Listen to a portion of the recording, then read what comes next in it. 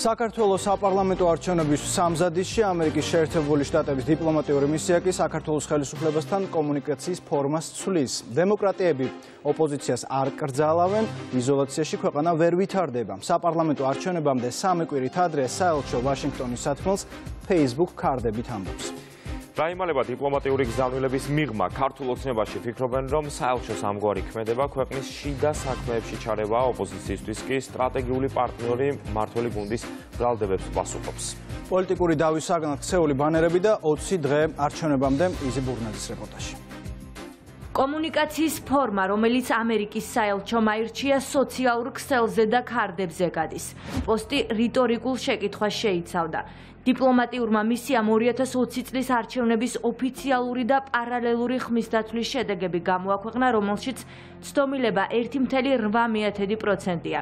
შემდეგ კი აქცენტი ოპოზიციაზე გაკეთდა. დემოკრატიები ოპოზიციას არ კრძალავენ. ამ შინაარსის კარდი ისევ საელჩოს Facebook გვერდზე აიდვირდა.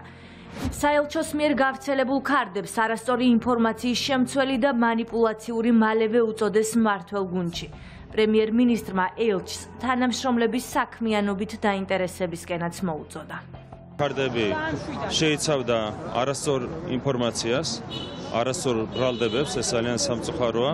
ნუ დღევანდელი ქარდიც იყო აბსოლუტურად გაუგებარი, თუმცა ნუ ეს არ ვიცი, ეს არის რა თქმა უნდა, საელჩო საქმე. მე ვთხოვდი ალბათ დონელს, რომელიც ზოგადად რაციონალურად უყურებს ხოლმე მოვლენებს, რომ უფრო ღრმად ჩაიხედოს საკუთარი თანამშრომლების საქმიანობაში, იმ თანამშრომლების საქმიანობაში მათ შორის, რომლებიც ასეთ ქარდებს ამზადებით. საერთოდ არასწორი ინფორმაცია გავრცელა იმასთან დაკავშირებით, რომ თითქოს ცდომილება BVD-სა და CESCO შედეგებს შორის იყო მხოლოდ ერთი დარვა, როცა სინამდვილეში იყო 2.4 და მეორე манипуляცია მდგომარეობდა რაში. რომ სინამდვილეში ამ 2.4%-ით ჩვენ გვაბრალებდა ამერიკული დაფინანსებით მოქმედი არასამთავრობო ორგანიზაცია არჩევნების გაყალბებას 46000 ხმით და ეს იქცა მთავარ საბაბად ოპოზიციისთვის რომ ეცადათ ხელისუფლების შეცვლა ხალხის ნებისმიერ კარდების გამოჩენიდან მალევე საჯარო ღონისძიებაზე გამოჩნდა რობინ დანიგანიც. ამერიკის შეერთებული შტატების ელჩმა მედიის კითხვებს არ უპასუხა თუმცა სიტყვით გამოსვლისას თქვა რომ საელჩოში ყველა თანამშრომელს ერთი მისია აქვს ძალიან კრიტიკულია ამ უმრჩეველს ხმის მიცემისას ესმოდეს, რომ მათ დანამდვილებით იციან, ვისაძლევენ ხმას და რის გაკეთებას აპირებს მათთვის მათი წარმომადგენელი ან პარტია. ჩვენ არ ვირჩევთ გამარჯვებულებსა და დამარცხებულებს, ჩვენ ამერიკის შეერთებული შტატები მოხარულები ვიქნებით, ვიმუშაოთ დემოკრატიული გზით არჩეულ ნებისმიერ ხელისუფლებასთან, ვინც იქნება არჩეული თავისუფლად და სამართლიანად, ინკლუზიურად და ღიად ჩატარებულ არჩევნებში. საელჩოს პოზიცია და კარდებით ნათქვამი სრულად გაიზიარეს ერთიან ნაციონალურ მოძრაობაში.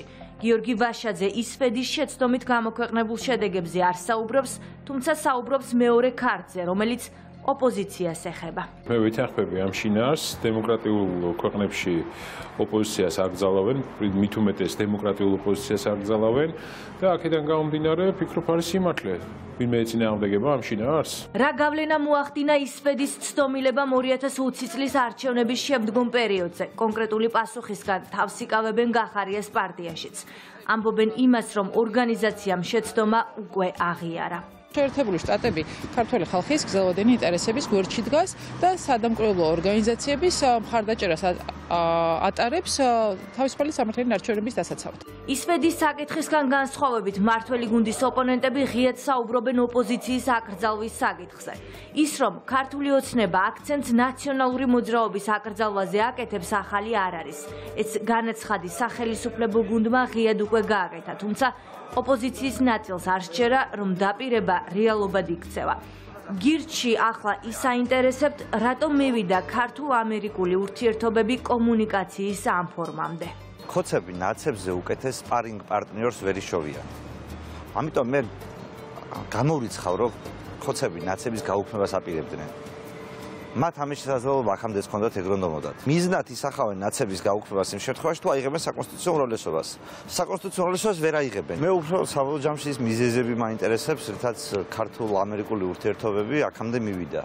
ერთი მხარე შეურაცხყოფას აყენებს, მეორე კარდებსდებს და ამით იზიანდება ჩვენი ქართული ხალხის ინტერესები. კარდები, რომელიც პოლიტიკური დავის საგნად იქცა მართლ გუნდს კითხვის ნიშნებს უჩენს.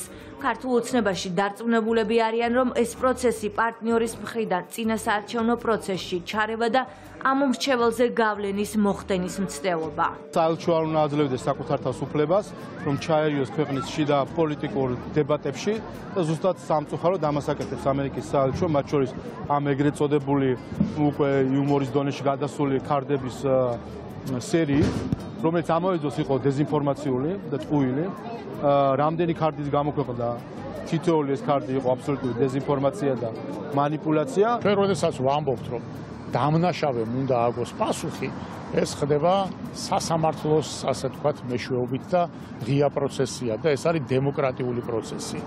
აქედან გამომდინარე ეს ძირფესვიანად განსხვავდება იმისაგან რა სურათიც ჩვენ გვაქვს მაგალითად მოლდოვაში ან უკრაინაში სადაც პარტიები, მედიები პირდაპირ არის რო იტყვიან დირექტიული ბრძანებებით აკრძალული. მაგალითად გერმანიაში, იგივე საფრანგეთში ერთ-ერთი ყველაზე უფრო დიდი პოლიტიკური პარტიის ლიდერის ასე ვთქვათ საპრეზიდენტო არჩევნებში მონაწილეობის აკრძალვაზე არის სასამართლო საარჩევნო პროცესებში ჩარევა თუ ბრალდებებზე პასუხი. საელჩოს ქარდებზე მოსაზრებები განსხვავებულია. საარჩევნო კამპანია კი ბოლო ფაზაშია გადასული.